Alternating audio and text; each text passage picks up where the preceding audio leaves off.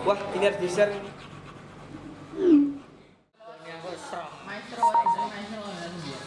Wah, apa ini? Oh, ini. Harus di-share ini. Dan ini adalah salah satu dampak jika kita tidak memilah informasi yang tepat dari media sosial. Seperti contoh orang ini. Apakah benar orang ini mencuri?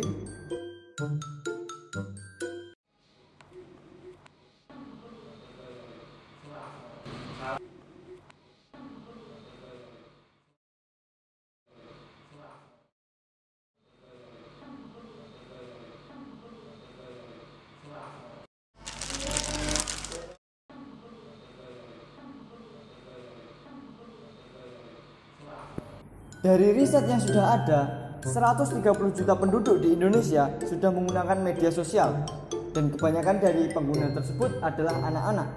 Apakah bisa anak-anak menyaring informasi secara jelas dan mengetahui sumbernya dari mana? Kita sekarang memiliki senjata yang selalu kita bawa ke mana-mana. Hanya dengan satu kali klik share informasi hoax bisa memicu antara suku, ras, ataupun agama bahkan bisa memecah belah NKRI. Sebelum klik share, pastikan dulu sumber kepercayaan dari informasi yang kalian dapat. Karena di luar sana banyak sekali oknum-oknum yang sengaja membuat cerita hoak untuk kepentingan pribadi. Mari wujudkan Indonesia anti hoak untuk hidup yang lebih damai.